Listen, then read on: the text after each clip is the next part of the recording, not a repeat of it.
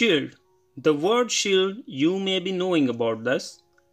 A thing which encloses to provide the protection. Same, Proto Shield is also providing a protection against any direct wear and tear by using the microprocessor board like Arduino Uno number of times. It is designed to facilitate prototyping.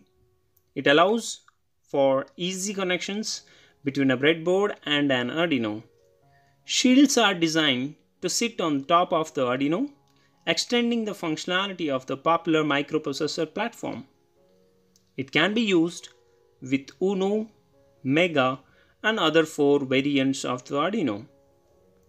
If you see the Proto shield without the components soldered to it, it looks like a normal PCB board with same digital power and analog pins that we find on Arduino Uno but also have an additional benefits like it is having power rails down the middle and sides totaling 35 volt pins and 31 GND pins.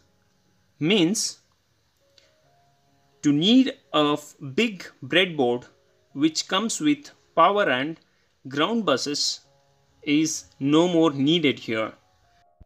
If you want to learn about the breadboard, there is a link given above on the video. You can click on that and learn regarding the breadboard. So these power rails you can see here clearly in the picture.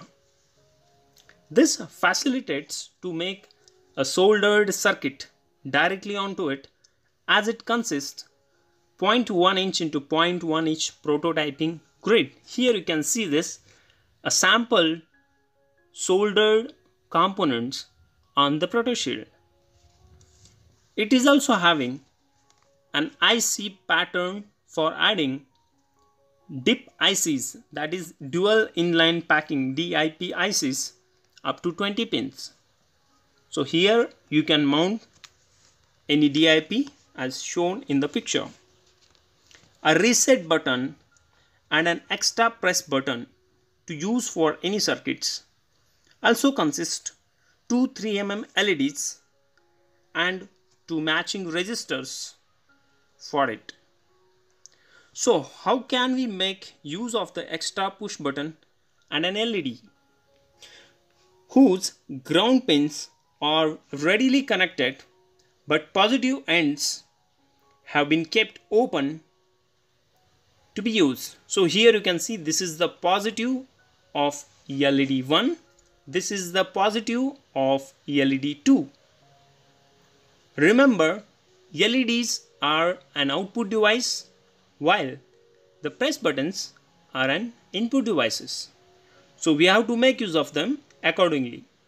You can see the output or the out from the press button from this pin. So, so whenever we need, we can make use of this two LEDs and press buttons which are readily available on this proto shield. It is also having an ICSP stacking header so we can stack any kind of a shield on top or use any AVR programmer like this so this is an AVR programmer this is needed when you want to upload any firmware to your onboard ICs. Also, it is having a surface mount chip area for up to 14 SOIC size parts.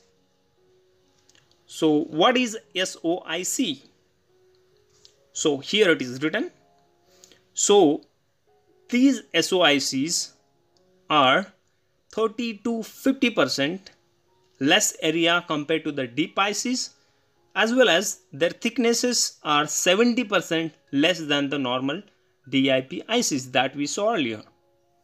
So here in this close picture you can see there are total pin 1 to 14. So there are total 14 pins and clearly you can see that which strip or which leg of an IC is connected to which grid point. So this is the grid point. These are connected. So you can see that how they are connected from 1 to 14 and these 1 to 14 are separately marked with a white color box so that you can identify them easily. It is also having and it is also compatible with tiny breadboards. That you can see here. So tiny breadboards can be mounted on this very easily. If you don't want to solder any circuit and temporarily if you want to use so small breadboards can be used here.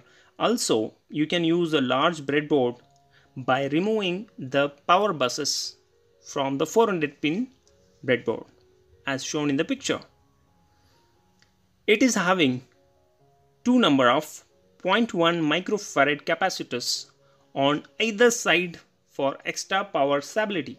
So you can see that here they have written C1 and C2 so sometimes on the proto shield there will not be the capacitors.